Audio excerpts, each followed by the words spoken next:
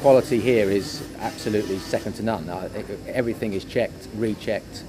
Everyone that has anything to do with the process checks the cylinders as they go along. Um, so, I, I, well, very rarely do we get anything back. To be honest, um, it's it's 100% checked, probably three or four times before before it goes to the customer.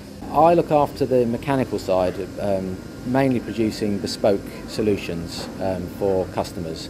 Could you give me an example of that? I mean, what, what would be a typical job for you? A special key switch for we've got for a particular application, a special door. Um, we've just done um, a super yacht with um, I think 40 special external doors, and every cylinder was was different in that.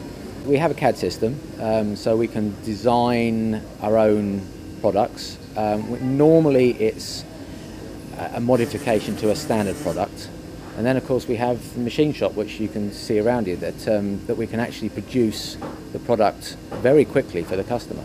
Kaba technology um, changes all the time, but my role on the mechanical side of things still has quite a, quite a place because we, we look after a lot of remote sites where there isn't capability having sometimes even, even electricity. So um, it is still very important to have a mechanical security um, product out there we're quite fortunate um, that um, we're probably the only lock manufacturer left um, that can actually make bespoke products for customers to extend their master plans, say. So they, if they've got a special door within a big building they, and they want something special for that door, we can do that, um, which is, is that bit extra for the customer. Um, and it makes, it makes for a very good relationship with them.